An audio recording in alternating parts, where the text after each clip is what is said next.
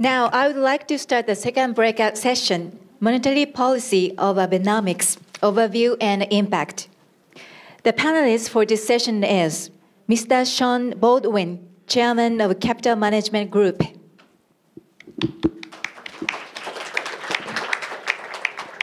Mr. Jesper Koll, Managing Director and Head of Japanese Equity Research, JP Morgan Securities Japan. Mr. Oki Matsumoto, Chairman and CEO, Monex Group. Mr. Thierry Porté, Managing Director, J.C. Flowers and Company. The moderator for this session is Mr. Hiromichi Mizuno, Partner, Coller Capital. Mr. Mizuno, please. Good afternoon, ladies and gentlemen. Uh, welcome to this panel. Uh, we are given the, uh, the subject or topic of uh, monetary policy of Abenomics. Uh, and we have uh, great panelists to discuss that particular topic. but to be honest, I just took a liberty of broadening the subject because I think it's a bit too late to really segregate effect of monetary policy from the other economic policy mix. So, and also the um, monetary policy of uh, you know, the governor Kuroda is not really a center of debate at the moment. So uh, I would just try to, first of all, obviously, to uh, follow the, uh, uh, the guidance from the uh, event organizer will discuss how you know, the, the Bank of Japan's monetary policy being, you know, if it's successful or not so far, and then probably just you know, try to discuss a bit more in a broader sense, how the economic policy has been working. Um, as you know, the, uh, we are all the participants in uh, capital market from different angle, and uh, I'll be quite surprised if any of us are against Abenomics, because obviously we have been uh, benefiting from the uh, uh, you know, more buoyant capital market. but instead of the, the, my introducing the panelists, and most of them you are very well know, I just let the, the each panelist to introduce themselves, and also I would like to particularly hear from how your business has been most likely positively affected by Japanese bank's monetary, uh, Bank of Japan monetary policy so far. Starting with you, Shawn. Oh, thank you. Thank you. I'd like to thank uh, GLOBIS and uh, Yoshito Hori for the opportunity to speak. Uh, my name is Shawn Baldwin. I founded a firm called Capital Management Group that firm initially focused on investment banking, uh, particularly with new issue IPOs, uh, underwriting about $68 billion of new issue IPOs as a co-manager. We had a number of institutional investors along with governments uh, and a few super high net worth individuals and pushed on to advisory for countries in the Middle East and in Africa.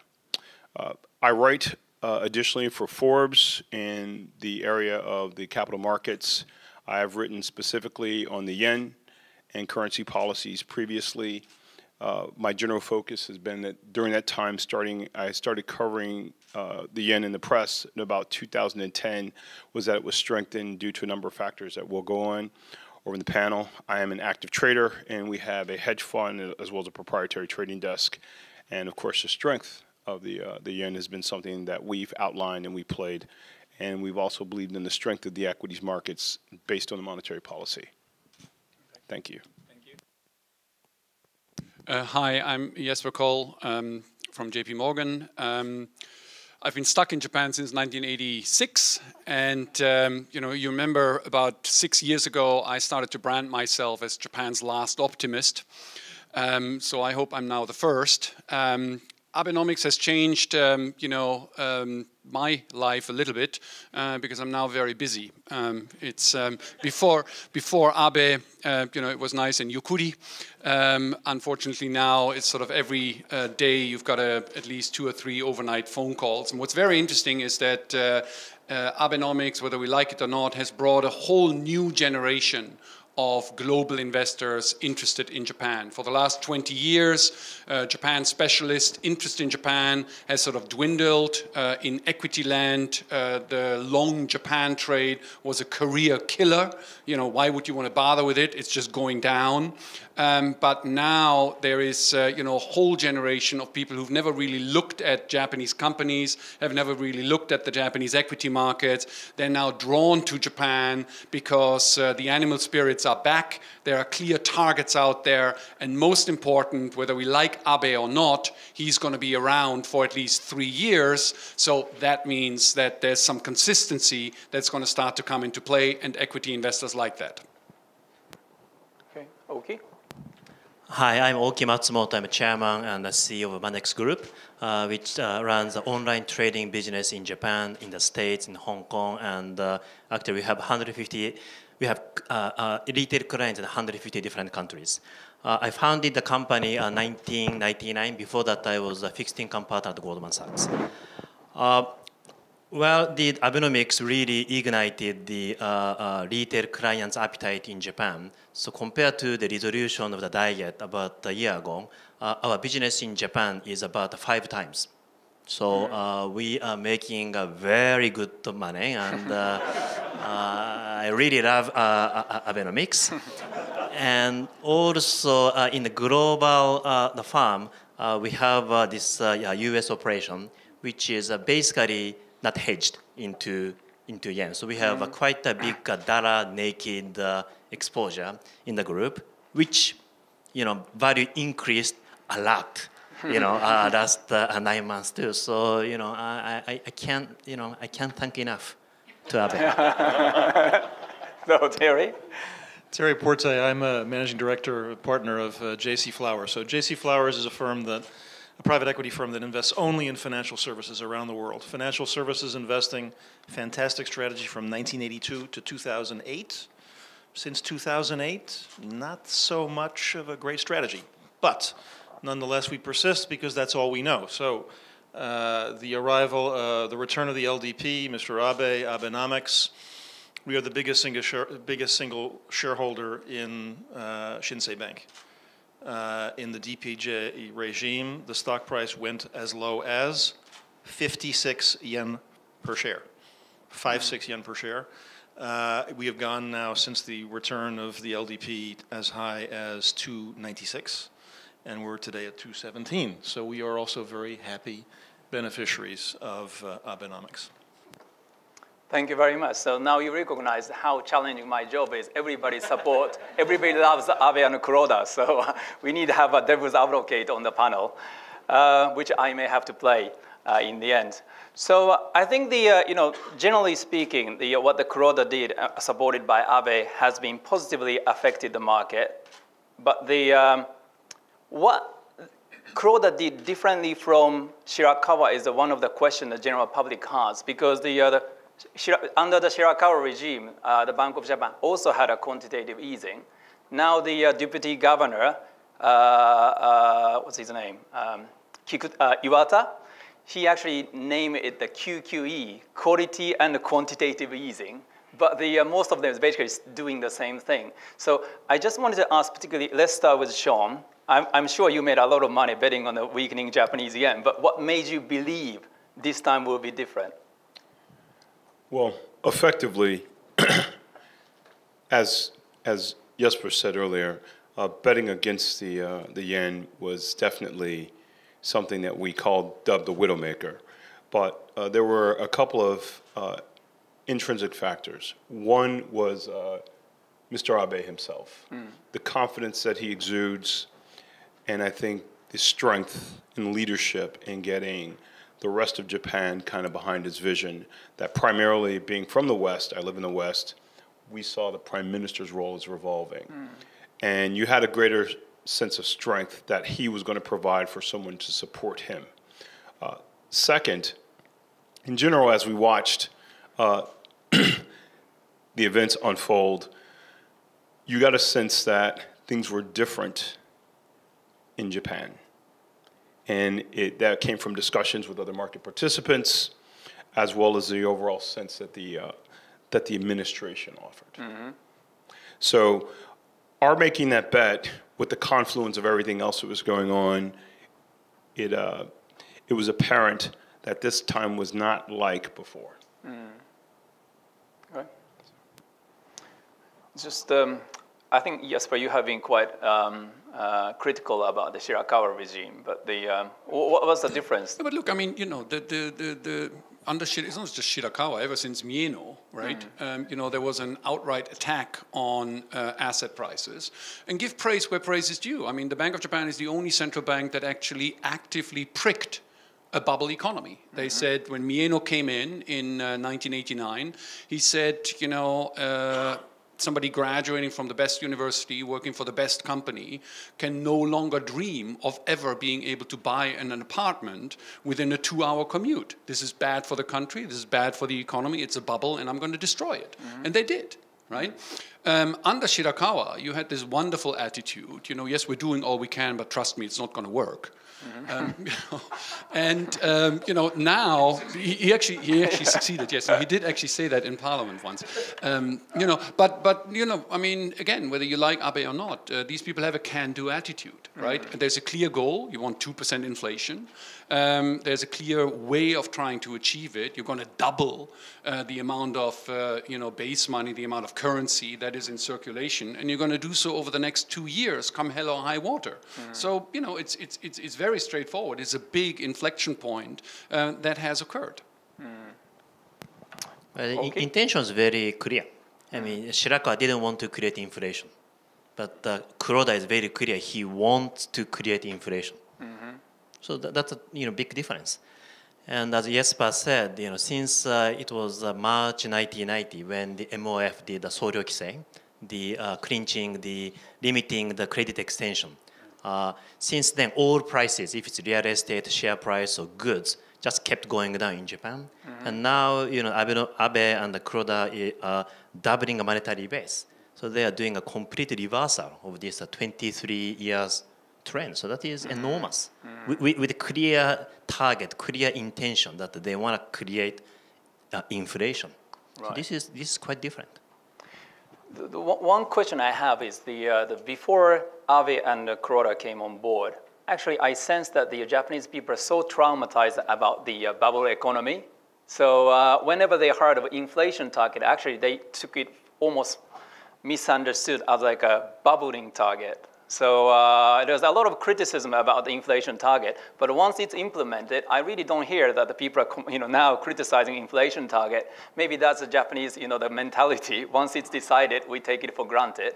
But the, uh, what do you think, the, uh, you know, uh, is there any uh, concern you hear from capital market that the, uh, this will again create a bubble rather than you know, the sustainable inflation in a market? How do you, he- you know, is there anything you hear from the market or maybe Thierry, you can, you can say what the European is talking about? I think one now. of the things that we have to acknowledge is that this process is going to create uh, a rise in asset prices. I mean, as a matter of fact, it is going to start, uh, and it has started, to reflect itself in stock prices. You can already see that.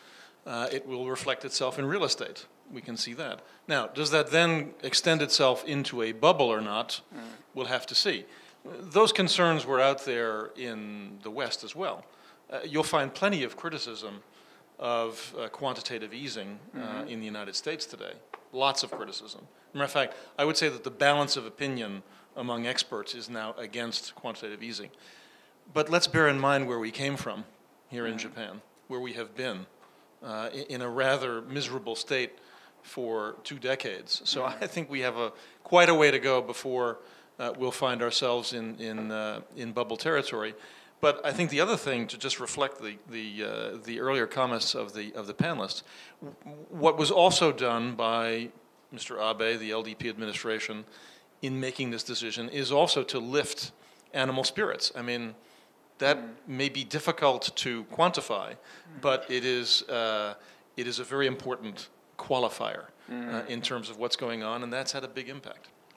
Shawn, Yeah, that, w- I was going to say, even though when you asked me that question, and I know as I was uh, saying that, as Terry just po- pointed out, the animal spirits. I'm, I'm not sure if everybody remembers uh, Mr. Jun Izumi's tenure or other prime ministers, but the general sense that the commitment was there to stay on course is a gigantic factor in trading because sentiment, aside from quantitative factors, means a lot. And you could sense that uh, given this, this, this whole administration's focus. And that was a very, very big deal in terms of uh, just in, be, in trading the currency. In order to effectively trade Japan, uh, guys usually have a trifecta. Like you're trading the currency, you're going to trade the stocks, but the mysterious part are the bonds. And not knowing how the bonds are going to react has uh, basically ruined many a career. So, feeling and being able to get a sense that his cabinet was in line, he was going to have the political will, and that he was going to stay in terms of commitment uh, is what outlined that. And you know, just you you hear lots of times about, and you heard the discussions early about the decline in population, right? And so what that really is is this Western sentiment that they keep trying to echo across to Japan to change your immigration laws. And to a large degree, I don't think that that's as much of a factor because the real factor is uh, WAP.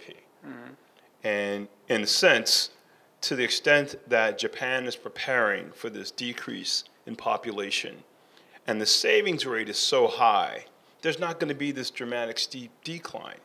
It's going to be more gradual. And I think that there are underlying things that are going in the background that the government is also doing to kind of combat that. I think the, um, you know, a lot of people, we, we just uh, had a, a pre-panel discussion and, uh, you know, the uh, Shirakawa used to attribute that the decline in uh, uh, working population uh, as the, uh, the main cause for deflation, and uh, which I think the, uh, the new monetary policy is challenging. That's not the case. And so far it's been proving. Uh, but the, uh, I just wanted to ask the panelists, you know, all those like a fundamental, uh, like a demographic issue, is at the moment, is the market is actually taking that into account? They just basically decided to neglect it for the time being. I mean, for the today's movement of the share price, you know, you, you, you, you, don't have to care about the problem in 10 years or 20 years. Right. Right? You're going to make money now, today, right? so you have to act, right? So the, um, the demographic thing is a, a big problem. Uh, you're right, and uh, and I think that you know while we are enjoying this uh, Abenomics, uh, I think at the end of the day we have to address to this uh, population issue. But, but by the way, I think uh, Olympics may help us. Yes. You know, we let's make baby now, and then we can bring uh, you know kids to the the Olympic. Okay, yeah, they are six or seven years old, so they will obey to you. they will understand the games, and also you know if you, you if you try to take them to the game, and they will come with you. You know, this is great. And uh, se- seriously, uh, uh, it could happen. It could happen, but. Uh, that's something uh, we need to do. By the way, as regard to the productivity per capita, if you calculate in the States and Japan, and Japan's been, you know, last like uh, 15 years, Japan's been uh, uh, outperforming of the productivity per capita of the states. So the, the so the, this uh, losing population is a really fundamental problem, but we don't have to care. We don't have to worry about today when, when you think about the market. I, I- look, I mean, I think that uh, you know, with the with the the demographics is actually creating a tailwind now. You know, because there's a scare. I mean, clearly the issue is, I mean, inflation for inflation's sake is not a good thing. I mean, you don't want to see your purchasing power just depleted. Um, you know, so you need to have wage growth. And, uh, you know, we haven't had wage growth basically since 1994 uh, in Japan on aggregate. Um, you know, the good news is that actually the supply of Japanese um, is, um, is stuck. In fact, it's going down. I mean, the country basically is losing about 700,000 people every year over the next decade. Um, you know, so you know the fact that you do have this shortage of labor, the shortage of skills, is actually going to start now to create um, positive wage growth. Um, you know, and it's interesting because you know this whole debate about immigration, blah blah blah. This is all fantastic, but we've had this, you know, basically for the last 30 years. Um, what is interesting is when you look at the construction industry, when you look at the logistics industry, when you look at the restaurants industry, already people are running out of labor. You know, it's kitsui kitanai kiken right? It's the triple K part, the dirty end of the economy, where wage pressures are actually starting to build up. And, uh, you know, at the top end, at the very high end, you know, um, you still start to see downward pressure. But overall, at the belly and at the, at the bottom end of the beast, things are actually beginning to turn. You're also seeing a very, very important flip in the Japanese labor market. Koizumi deregulated the labor market so that you could hire part-time workers more easily right? Now, what you're beginning to see is because of tightenings of rules and regulations, um, you actually start to see companies rehiring people who used to be on a part-time basis are now rehired on a full-time basis. You know, so that creates a virtuous cycle for the underlying economy. But I think it's very important to note how deep the flip is. There's a flip in monetary policy, absolutely, we want inflation. Uh, there's also a flip in the Japanese labor market where there is a natural tightness that is now coming through. And then finally, there's another flip that has occurred, which is that this country now runs sizable trade deficits. This is very important. So, three big macroeconomic elements have completely turned 180 degrees from where they were before. And quite frankly, you know, where that all is going to end up, we just don't know. It's a giant experiment with some deep fundamentals that go way, uh, you know, above what Prime Minister Abe is about. Okay. Well, that's interesting. But let me just step back, and I just want to come back to the monetary policy or what, or what the Bank of Japan can do or should do. Uh, recently, uh, uh, Governor Kuroda made a statement that he is actually supporting uh, increasing consumption tax, and the Bank of Japan is prepared to ease the, the pain. And my question is, first of all, a lot of people, you, you know, the, the people who advocate or support the increase in the consumption tax use the bond market crash or reaction uh, of the international investor to the bond market as a reason to deliver the, uh, the consumption tax, increase immediately as promised.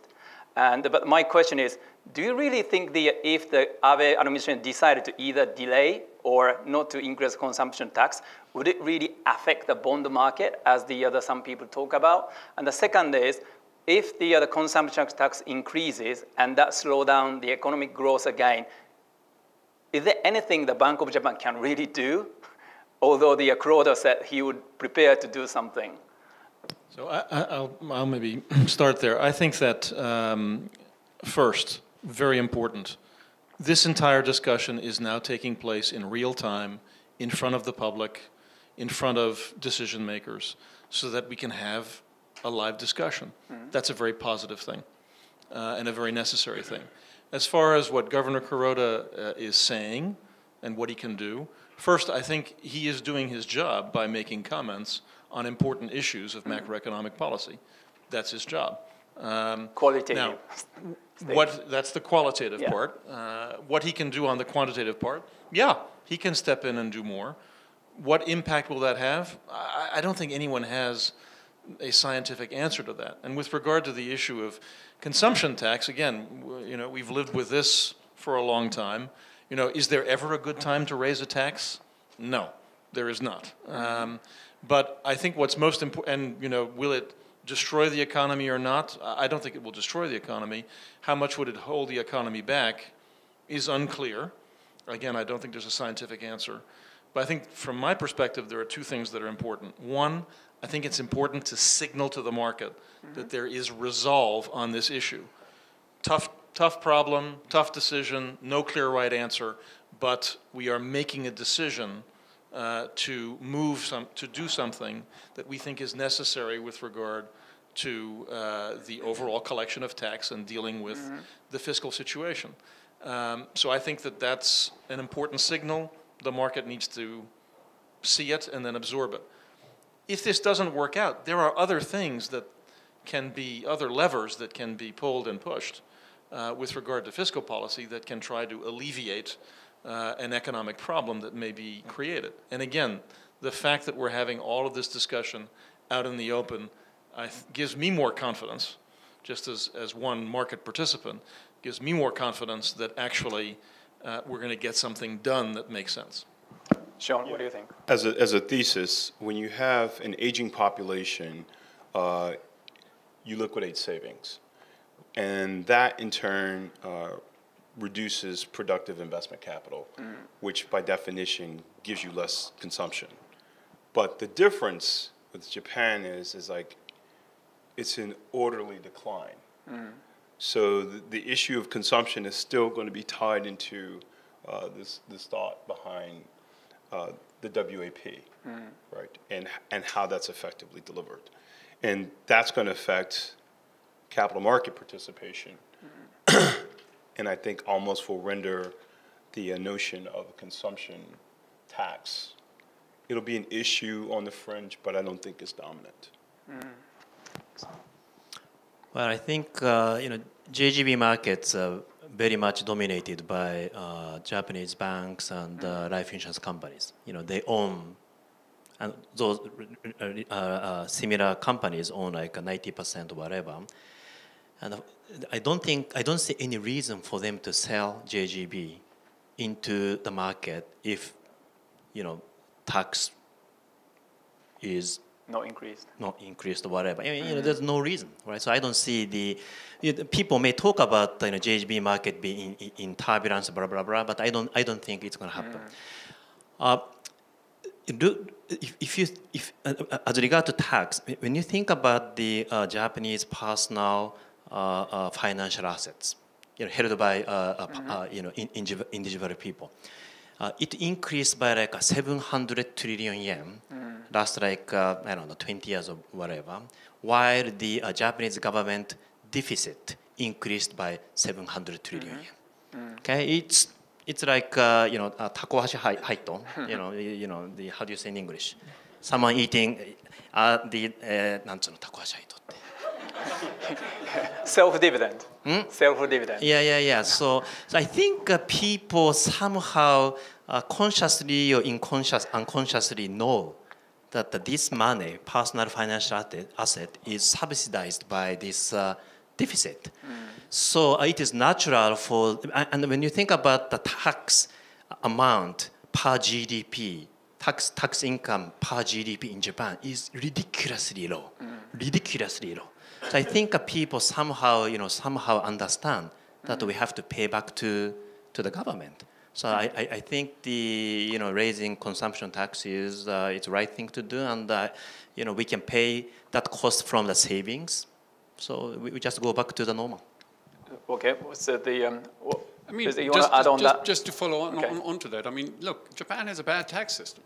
Mm-hmm. It's a very bad tax system. You know, I hate to say this because I pay a lot of taxes, right? But um, you know, given the age structure, you know, you need to change towards more indirect taxation. Now, the whole point about Abe, the whole point about Abe, and this is whether it's domestic investors or whether it's international investors. You know, I'm sometimes a little worried because people say, "Oh, what do foreigners think? What do domestic people think?" I mean, they mm. think the same. They actually both want to make money, right? So investors say the point about Abe is that here we've got somebody for the first time in a decade who's going to do what's right who isn't encumbered by, oh my God, there's an election next year, so we can't possibly do. So the whole premise of Abenomics, you know, in the in the mind of uh, of investors, is that he's going to do what's necessary for the for a brighter future of Japan, and to fix the tax system is one big part, you know, of that, and to sort of backpedal, and exactly like Tarek said.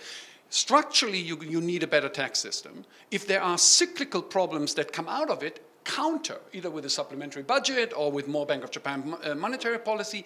That's the key point. It's the coordination side. But to come back to the point, Abe, the reason why global investors and why domestic investors like him is because he's going to do what's right for the country. And with this whole VAT hike debate, for the first time since he became LDP president, there's some question marks that are starting to appear. Does he really have what it takes? Michelle? Also, from a factual point, right? So the JGB was the best performing sovereign bond last year. Mm. On an underlying basis, right? Why is that? Well, aside from the savings rate, the corporate savings rate in Japan is freakishly high. And so that then powers bank deposits. And with those bank deposits, mm. that effectively supports the bid.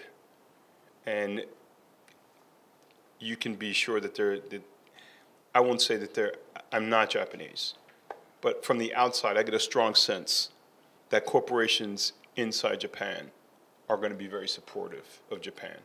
And they're going to show that support by the purchase of additional JGBs, which are powered by the strong savings rate in the corporation and at the, at the housing level. And that's, as, as uh, was stated by one of the panelists, mm. Almost 93% of the debt is bought internal to Japan. Before I finish, wrap up the discussion on the consumption tax and the high increase, what do you, would you suggest? What would you advise the Abe administration about the uh, consumption tax increase? I will, I will start. I actually agree with the, uh, Professor Hamada. I think we should just uh, take a step up so that we wouldn't have the, we will have a continuous uh, the price pressure for the consumer to spend earlier, but it's not going to be a big jump and drop. That's what I think. But what do you guys think? I would raise uh, just five percent in one time. Not a three by three and two, just five percent in one time. So you don't think it would affect your your you know, clients' confidence in the Japanese stock market? No, no, it will of course affect, but you know, what two percent each, or you know, step by step, you know, we don't want that. I mean, hangover needs to get fixed in a day. Mm. Okay, you, you, know, so you know, we, we are drinking now. Abenomics is drinking. Okay, so even with a hangover, we, we can go, we, we, can, we can work tomorrow. Right, okay. okay, but uh, you know, if a hangover comes, uh, you know, tomorrow and the day after tomorrow again, you know, it, it, it it's, a, it's a program. okay. It's a quite aggressive statement from the uh, CEO of brokerage firm, but so the uh, who, who, who comes next? Thierry, uh, you, you know, I've just heard Oki, and I'm with him let's go for it. I mean, let's get this over with. Let's get it done. As I said earlier, if there's a problem, we can we can do other things in fiscal policy to make up a gap um, that uh, that we feel needs to be filled.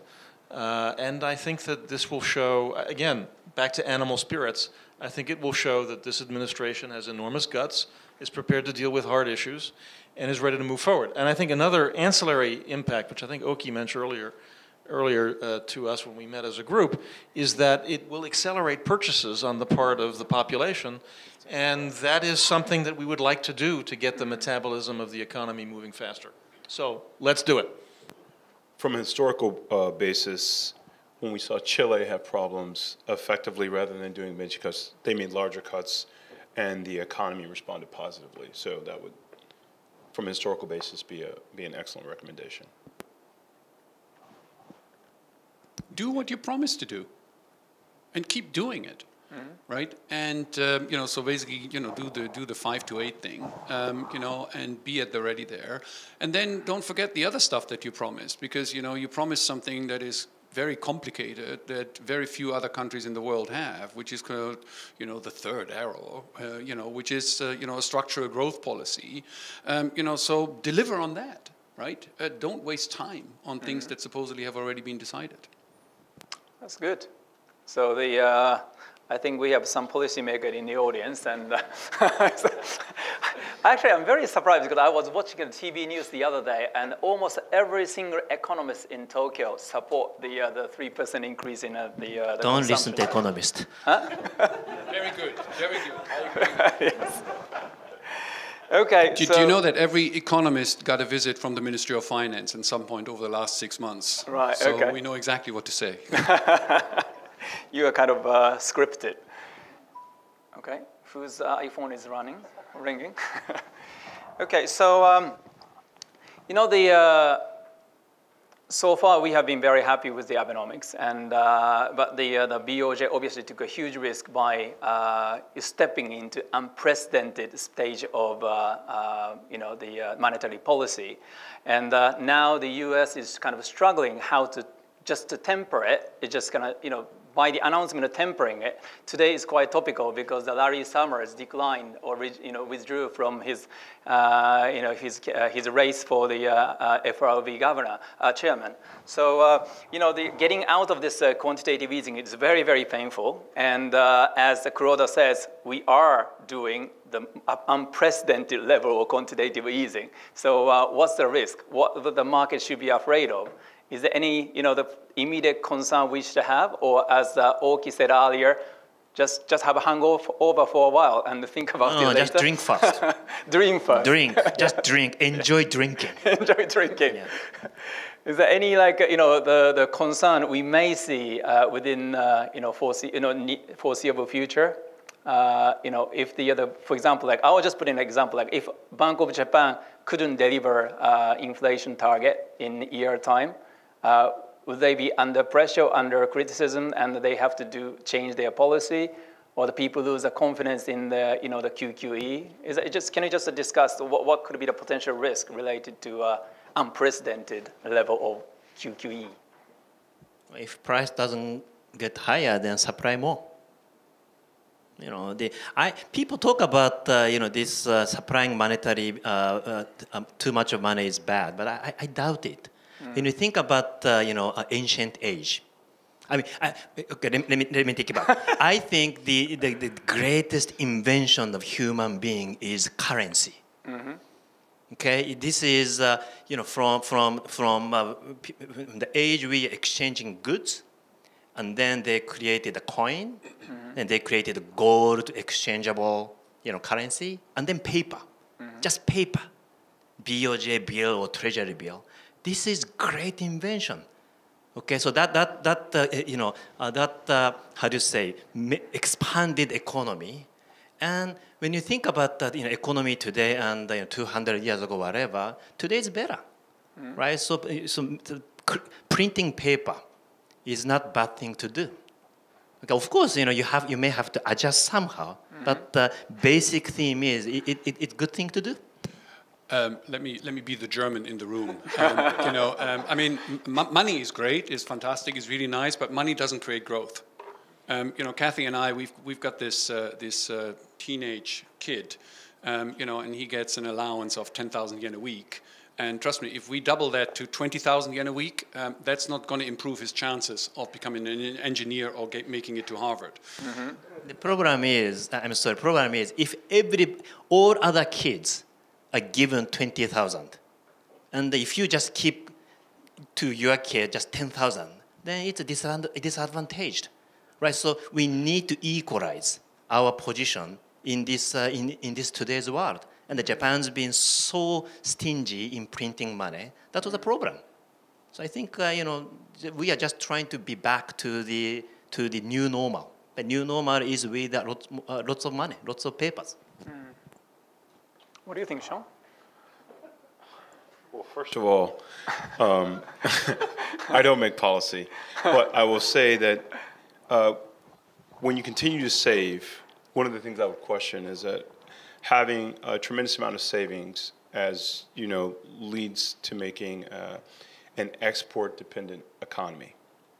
So that's potentially a problem because Japan is the leading saver country effectively are the top three savers uh, ahead of uh, both uh, China and, uh, and Canada.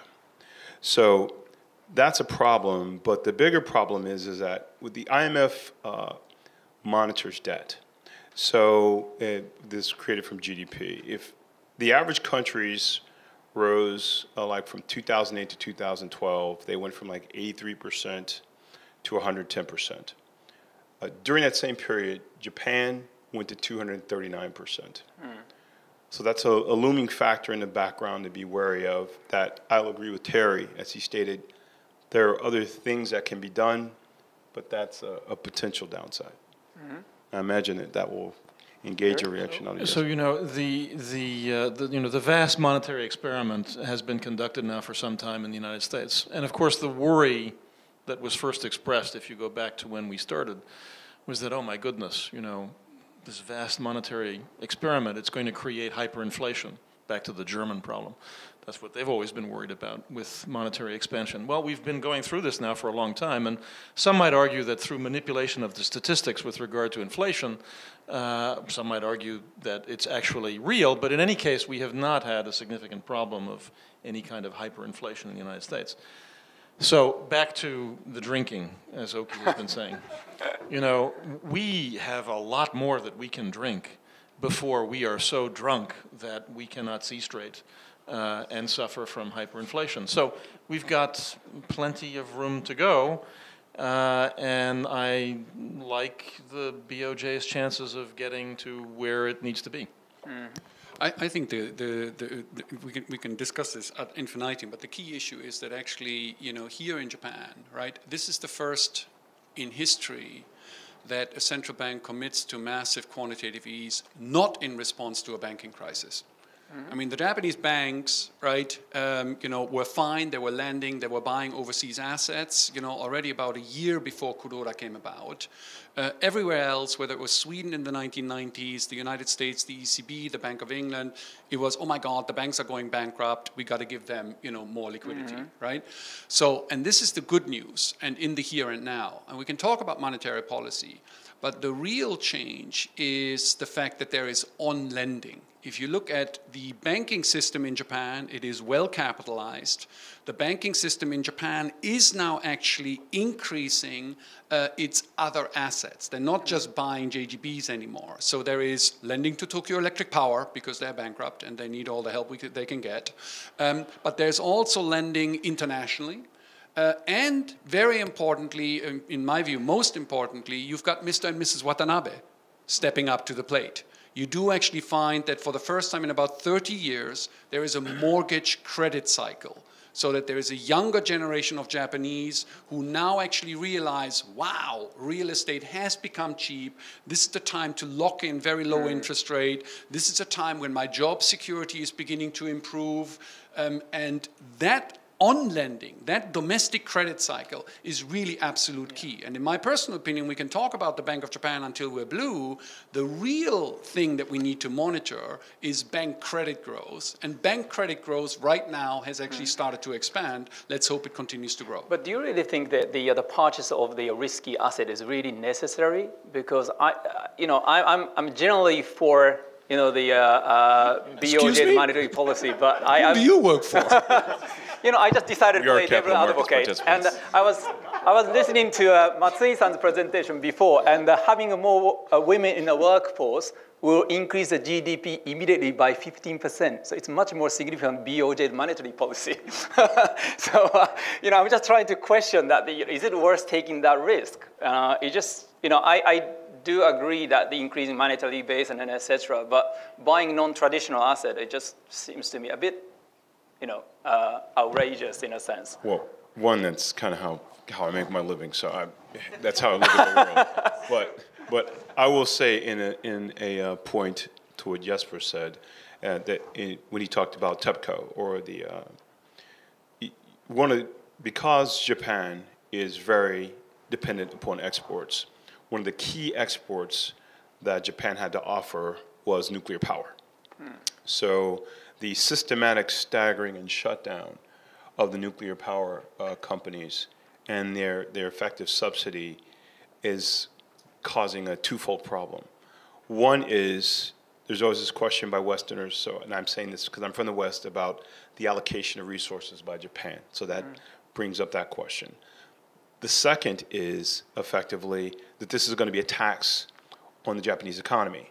So prices have already went up approximately 15% over the past two years. There's about 2.7 trillion yen in losses, but that's been accelerated because over the last three months through June.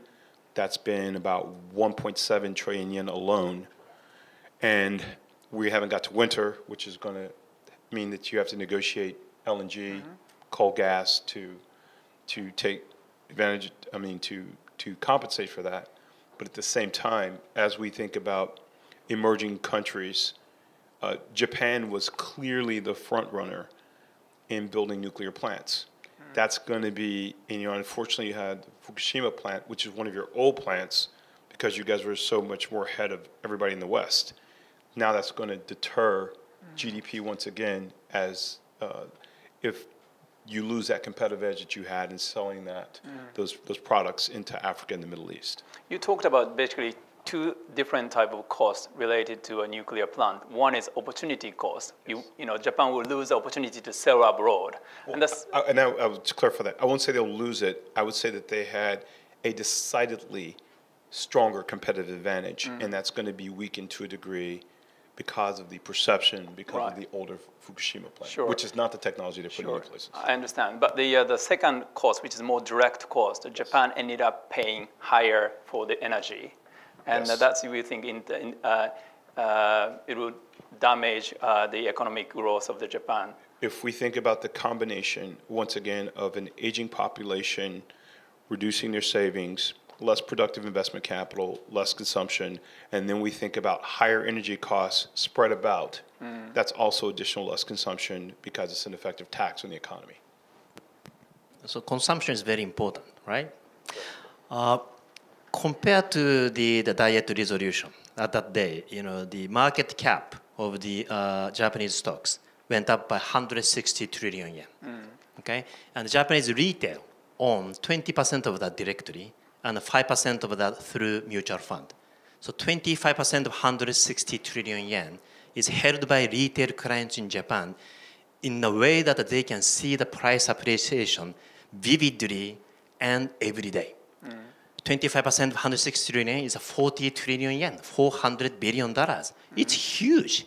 Mm. Okay, and the real estate price, uh, the value, tend to be like twice of the uh, personal financial asset maybe. So you know we're talking about a huge amount of uh, increase of uh, wealth by those uh, Japanese nationwide people. That will support the uh, uh, uh, consumption and probably that will support capex too because the corporate executive, executives are individual people as well. If BOJ just buying JGB, it doesn't happen.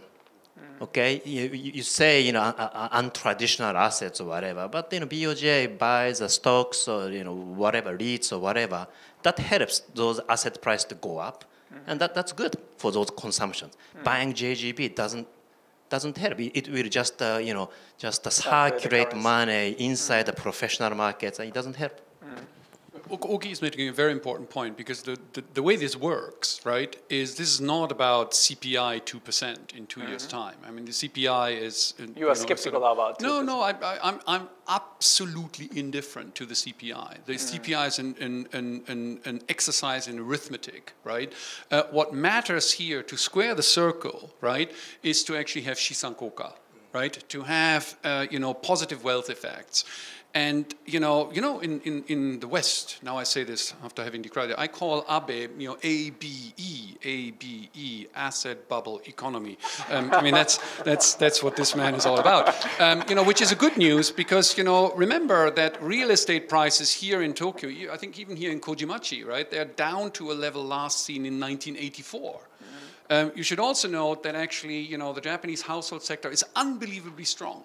I've just recently done the calculation. 44% of all people over 20 in Japan have no debt and own the home that they live in. I mean, that's spectacular. In America, that number is negative. Mm. Sorry. Yeah, it is. It's actually, I don't know what the number is in America, but for, what is it? 20% of all mortgages are still underwater, right? Something like that, right? So, you know, the potential for wealth effects, right? Particularly now that you do have, um, you know, 25% of the people over 65, right? They paid off their mortgage into declining home prices. Mm. Now the positive wealth effects, I think that's how you're going to square the circle. Mm.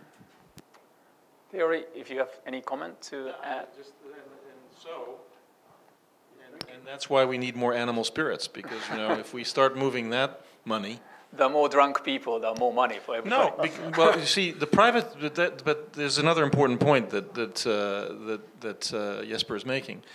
The Japanese private individual, that sector, they're very sober.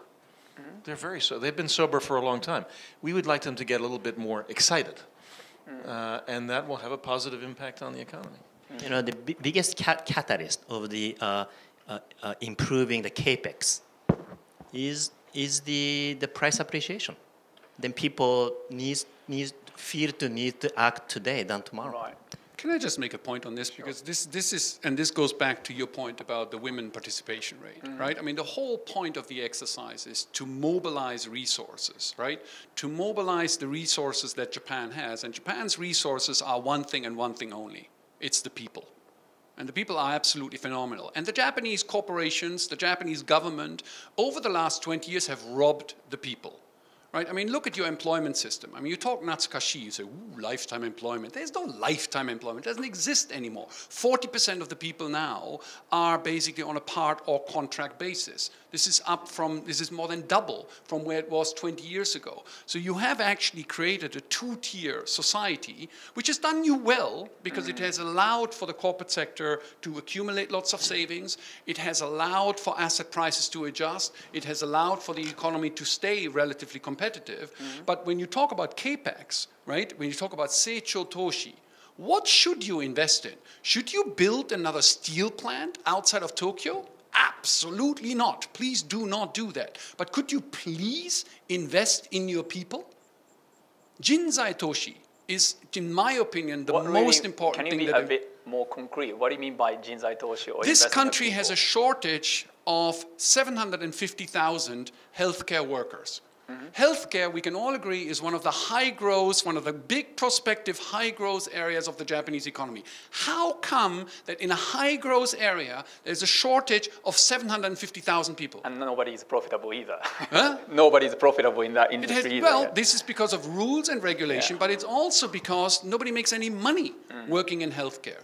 If you become a nurse in Japan, it's a feverishly difficult process, right? And then at the end of the process, you end up making less money than you do working part time at a Starbucks. This is rules and regulation. Mr. Abe, hello, third arrow. Okay, well, the, I'm trying to, to, to, you know, the, motivate people to come up with some risk factors because, you know, as you know, we are all supporting the Abenomics and the other Corona. So, but the, uh, but Shawn, you mentioned about, hold, Shawn, you mentioned about the high utility bill because of the weaker yen and, uh, you know, the no nuclear plants, uh, you know, working at the moment, operating at the moment. Is there any other risk factor, you know, that people should be aware of? Uh, No, and I mean, as a, initially, when you think about the opportunity for wealth to be created, which is my focus, I think that for reasons that Jesper said as well as Oki, we think that Japan is going to do phenomenally well, and that's how we're positioning ourselves. Um, the earlier comments I made on GDP are real, and those are things that should be guarded against by the administration. But I think that all those things, as Thierry said, are very manageable. Uh, I highlight them because they are potential risk if there was too much hubris. But I, I effectively, I'm, I'm very long the, the uh, Japan, the present time. Great. Great to hear that. The, the risk is very simple, is cost push, that we find ourselves in two years' time, the unemployment rate is 2%, and wages are rising at 4% while productivity is rising at 2% because the third arrow never happened. I mean, that's the real risk, that you're So- running out of labor and productivity growth doesn't pick up. So risk really reside within the like a growth strategy or construction reform. Yeah. I think the risk is uh, if Abe succeed in making people more, you know, animal thinking, animal mindset, and uh, uh, learn about English, and then uh, people in the in the long future, uh, when people start feeling comfortable taking money out of Japan and uh, deposit into the non-Japanese financial institution, that is going to be a big risk. Right. you know what Japan uh, different from Argentina or Greece is you know we did wha- whatever happens you know non-performing loan programs or whatever happens you know money stayed in inside Japan that is very you know It's very different, it, it- it- catch 22 you know if we, we, do we want to do we want to stay in this state? You know probably not. But that is something uh, I think in the long run uh, the government or the nation should be careful.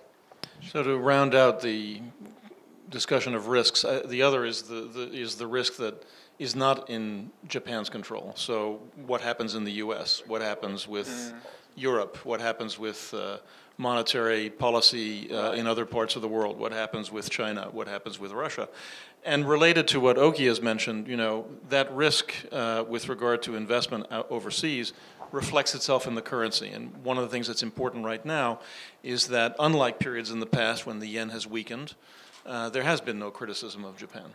And there has been no criticism of, you know, even in the U.S., there has not been really any criticism. Maybe they haven't been paying attention, but uh, they have time to catch up on criticism. But there is no criticism about a weak yen uh, and what implications that has for other economies. But if we have a dramatically weaker yen, that uh, conversation is going to become much louder. Shawn first. Yeah, that's a very salient point that he just made. In 2011, when Mr. Azumi was uh, going to go attend a, a G20 meeting, he decided uh, Anybody remember Azumi though? that's part of the problem. Minister, Minister of Finance. He decided to uh, move the interest rate ahead of time, and he was not admonished by any member of the G7. As a G7 member, that was something unthinkable, but no one said anything. And I know for me in particular, that highlighted a lot of what I thought was going on. Okay, we need to open the floor, but just uh, if Thierry, you make just a technically, it's comment. not correct what you said. There was once one country that vehemently opposed, um, you know, yen depreciation. That country is called the People's Republic of China. In uh, the autumn of 1997, um, this was the day before Bill Clinton, who was president at the time, um, you know, before he visited China for the first time. Uh, you remember Bob Rubin standing in front of a CNN camera and saying the strong dollar is no longer deemed to be in the interest of the United States. This was from pressure from the People's Republic of China. And if I dare to take off my glasses so I can not see in the distance but forecast more precisely, uh, my prediction is that by the time 2015 comes along, uh, you will find the People's Republic of China actually putting pressure, right? Um, you know, for a stop of yen depreciation, because at that time the Chinese will find that their exports uh, are no longer competitive. Well, the Japan still have many like economists who think that the uh, stronger yen is in uh, you know country's interest. We should send those economists to China to explain how how bad to have a weaker currency.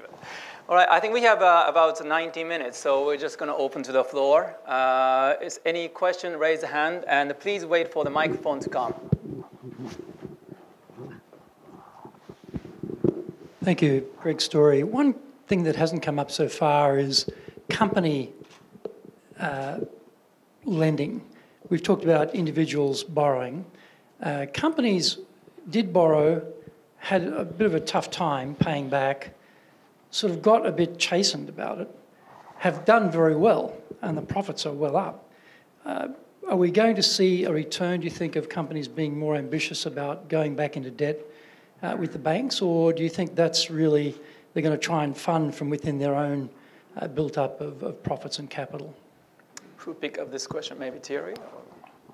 You know, I, I, I think that uh, you know the the problem in Japan with regard to corporate lending is that we've we've had now for a very long time a completely distorted market. You know, with interest rates as low as they've been. Uh, and so uh, I'm not, uh, personally, I'm not convinced, and I certainly don't see in the numbers, uh, Jesper is correct, we are seeing an increase in, in bank lending. It's not coming from corporations. Um, uh, it's coming from uh, it's coming from individuals. It's coming. It's going to real estate. It's not coming from the corporate sector per se. I, I have one proposal. Okay, the Japanese corporation they have depending on the calculation, the way of calculation, they are said to have like uh, 100 or 200 trillion yen, could be more, you know, sitting in the in their accounts, right? So we, in cash, we have to mobilize that. I have one proposal. What about making a dividend as uh, uh, uh, uh, deductible Right. from from Tax pe- free. from profit? Okay, so the corporations, you know, so they, they, they will pay a lot of dividend, and then the government can, you know, as Mr. Aso said, you know, many corporations in, in Japan not paying tax, right? Not, not, the listed companies, but the unlisted, vast majority of uh, uh, unlisted companies not paying tax. Okay, that they try to make the company kind of break even. Okay, so if the if the dividend uh, is uh, uh, deductible, then I'm sure you know there will be a lot more dividend. So owner receive legally dividend from the company, and then you know the 20% tax will be easily withheld to the government. So and also you know as regard to the listed market, share price will just uh, skyrocket. okay, huge, and that will create a great uh, asset uh, effect as well. Uh, this is, uh, and then the corporation will start using those money, and then eventually they start uh, borrowing from, from banks. Good. By the way, his company is listed, so.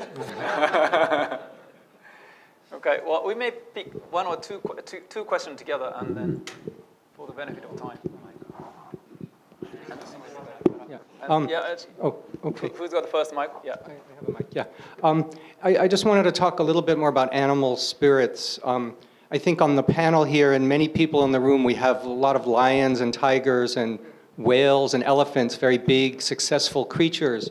Um, but I think there's still a lot of people in Japan, a lot of rabbits and dogs and turtles and smaller animals that basically their income is not growing for you know almost two decades, and gasoline prices are going up, and a lot of households still seem to be very concerned about the economic situation. And it's great that the lions and tigers and whales and elephants make money, but um, do you see this the the other animals some of this sort of filtering down and through the economy?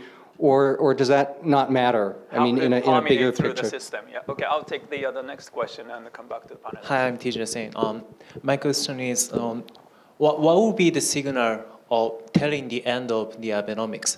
As you said, the Abenomics, Abenomics is a drinking party, but you know, every party cannot last forever. So um, if you have anything in your mind, that So, I would be great.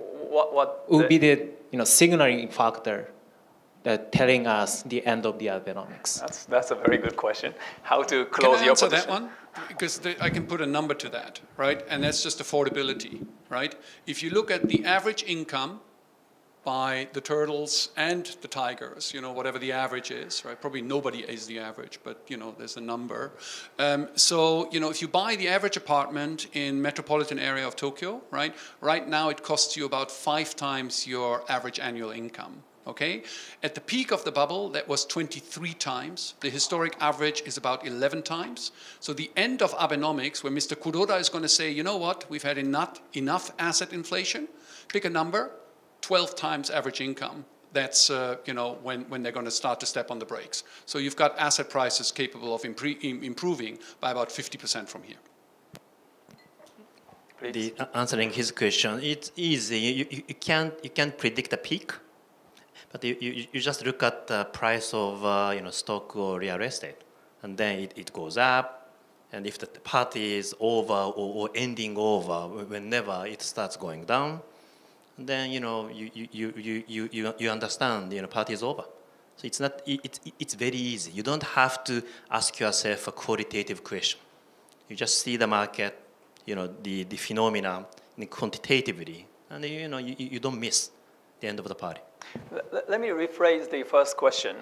Um, so, how long the uh, sort of general public, I don't want to call it uh, rabbits or turtle because it sounds so negative, but ordinary, you know, average the uh, household, how long they have to wait for them to feel the econo- eco- Abenomics is actually helping them, and how long people can be patient to wait for them to, you know, permeate through the uh, system. Well, just brief, if you're a landowner, they're going to initially feel it through the, uh, the value of the real estate that they have. And if they participate even on a smaller level in any investment process with their company, they're going to be wealthier, like as a exponential. I think the answer is never. Um, I was here um, during um, what's that called? The bubble economy in the late 1980s, and the Japanese were unbelievably worried about Endaka Fukyo and about all sorts of things. It was only, you know, sort of for a very brief period, you know, that there was some sort of mass euphoria uh, in the back end of 1989.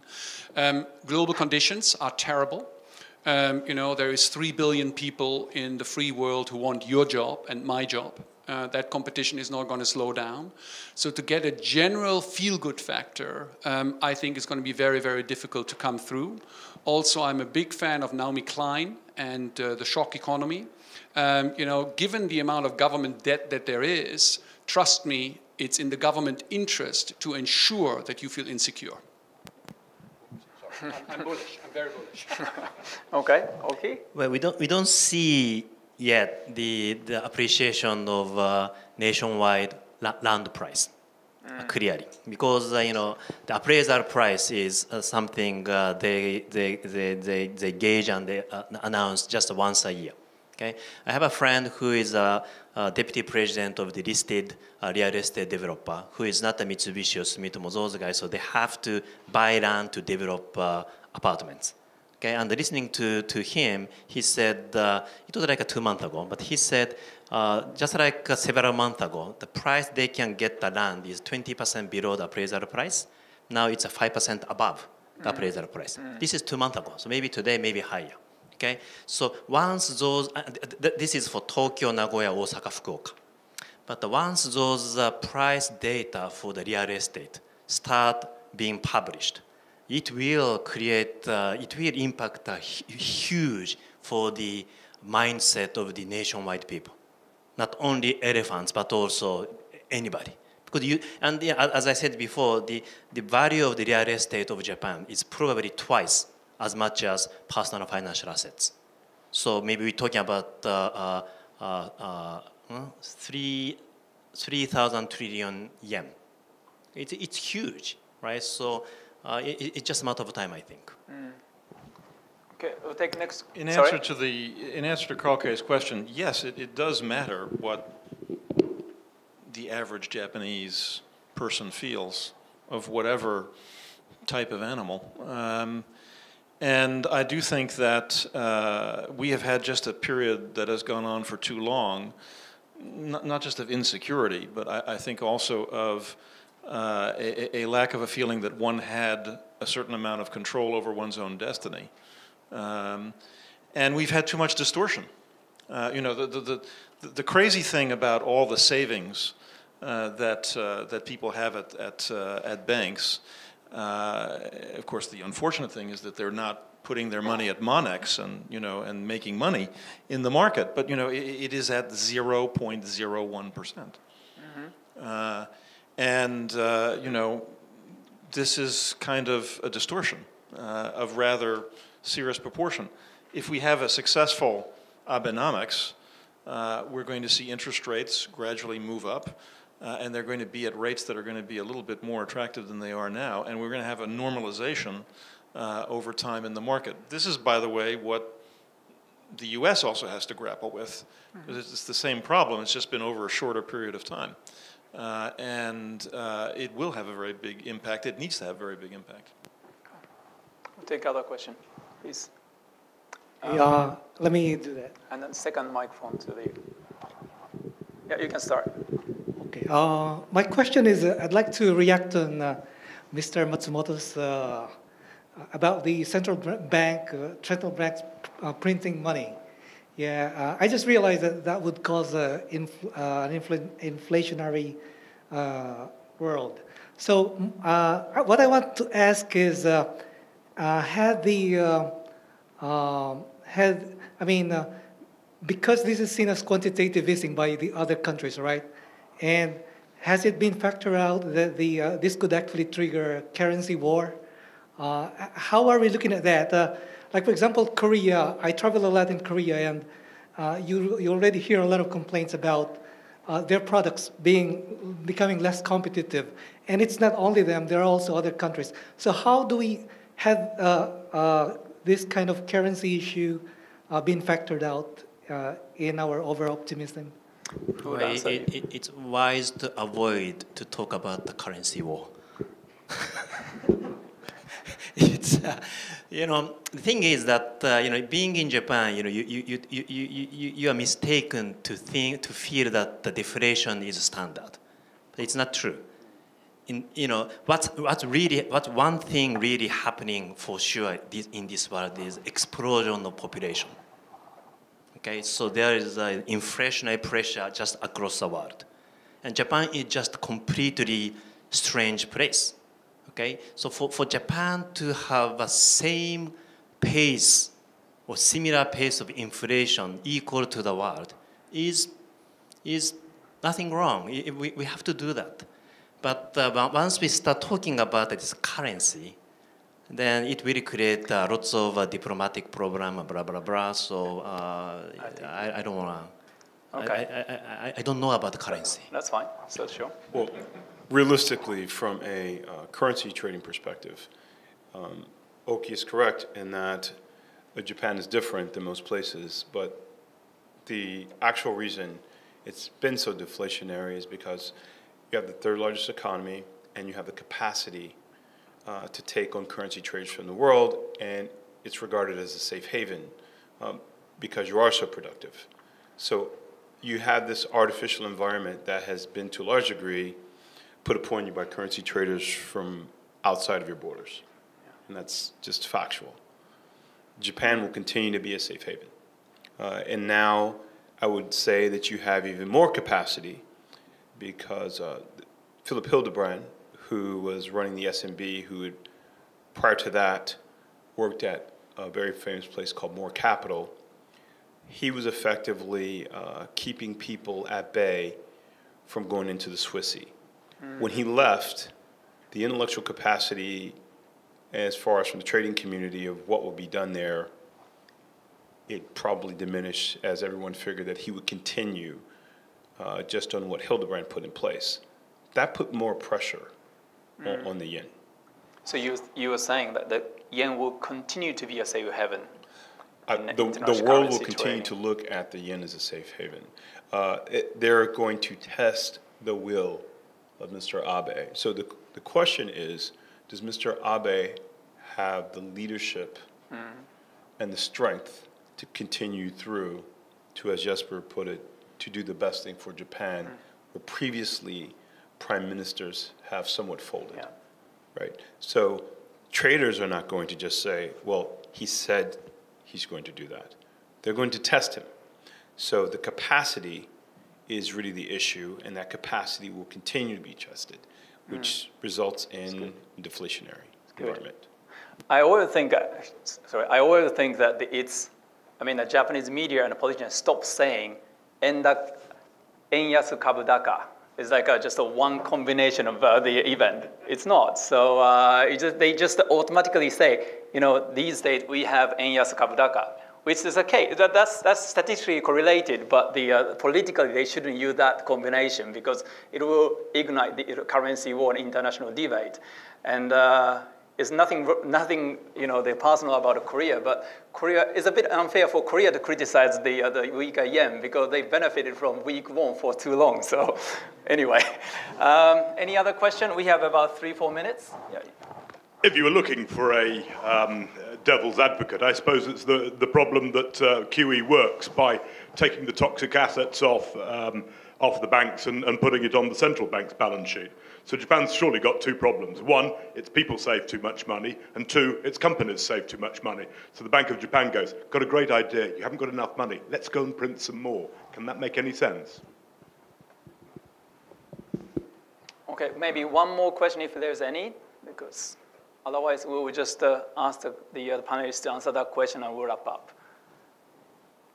Anybody is, uh, is willing to make a comment to that? No, no, no.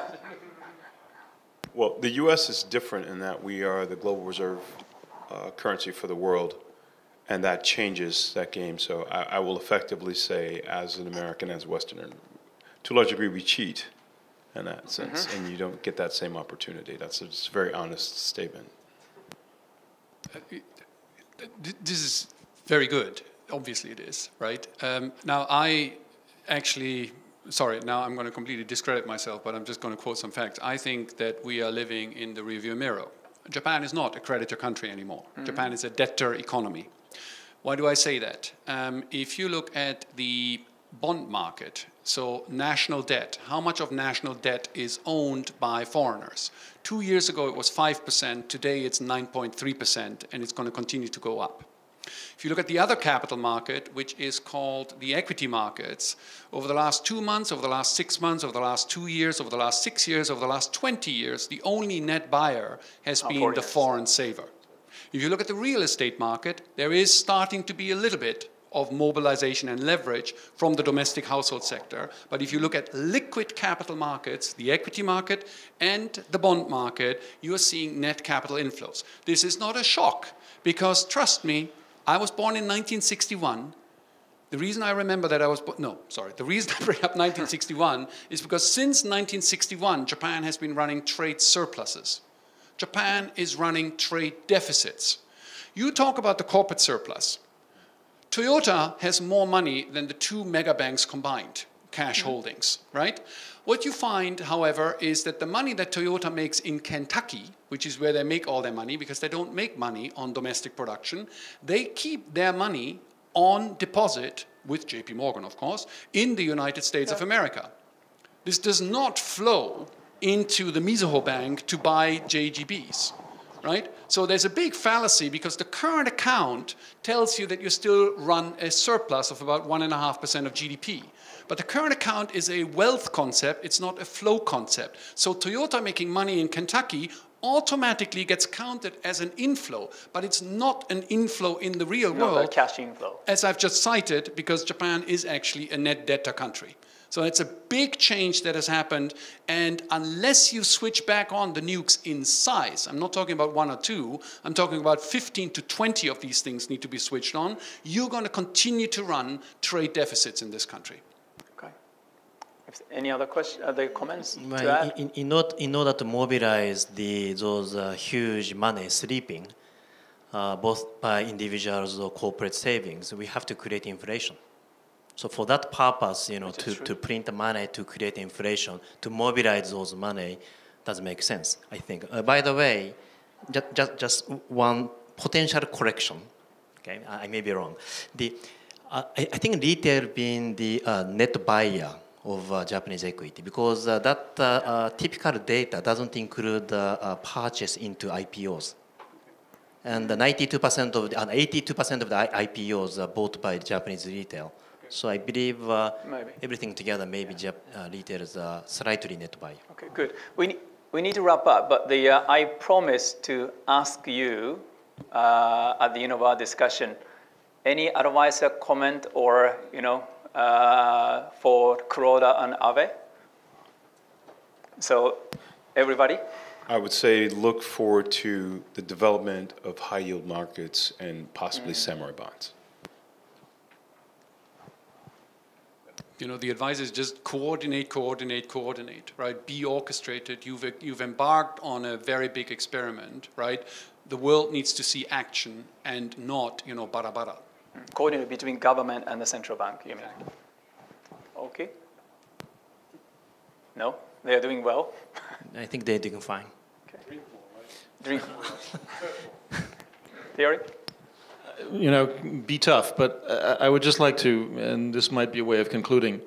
Uh, I think that uh, what Jesper has just told us is important. And why is it important? It is important because if you do accept the premise that, in effect, and it's hard to get all the data perfectly correct, but if you do accept the premise that Japan's gone from creditor nation to debtor nation, what that means in practical terms is that as a creditor, Japan can finance itself.